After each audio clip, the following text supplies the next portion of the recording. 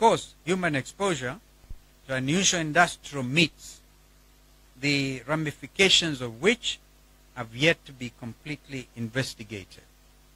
Essentially, these are side effects.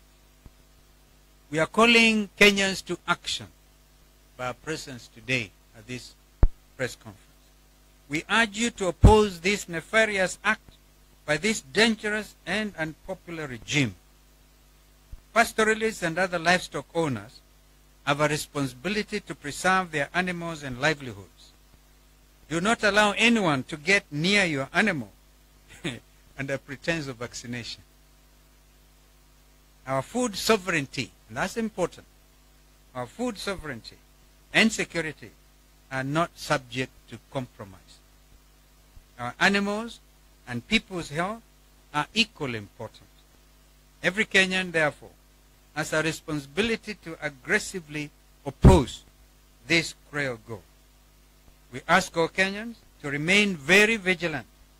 Do not allow any agent or official of the Ruto regime to come anywhere near Kenyan cattle with these vaccines. There will be no forced vaccination of animals in Kenya. We all remember stories of anthrax. If you're coming to vaccinate against anthrax and know the things we all know. We will resist by all constitutionally protected and guaranteed means.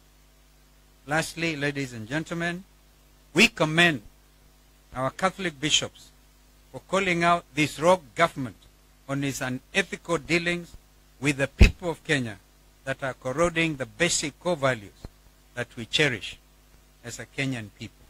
Now, because of uh, this genetically modified approach, you can never plant the same seeds twice.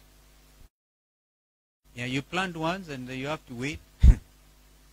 and uh, we went to court. We instructed our learned uh, friend Paul Mwangi to go to court of that GMO thing. The course last few days, I think, uh, um, uh, took a negative decision.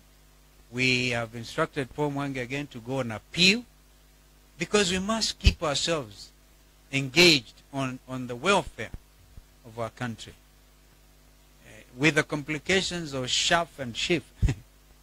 yeah, SHA and SHIF.